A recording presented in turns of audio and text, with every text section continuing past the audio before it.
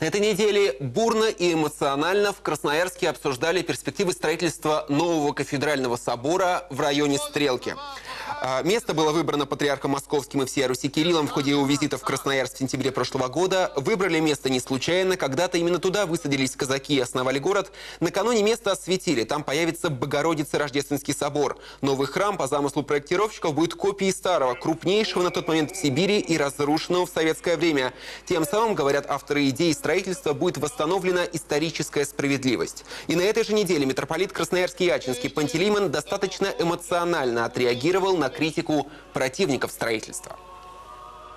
Предлагают места где-нибудь на свалке, там, где нет людей, а храм для человека. Для человека. Он должен быть, как теперь говорят, в шаговой доступности, как и магазин, где люди покупают необходимые вещи, продукты. И мы не можем без этого.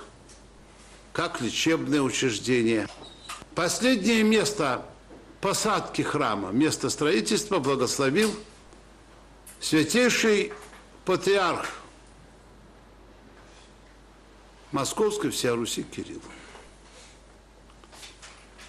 Для верующих масс слово святейшего патриарха – это слово Божье. Это благословение свыше. И как церковь мы будем прилагать все усилия –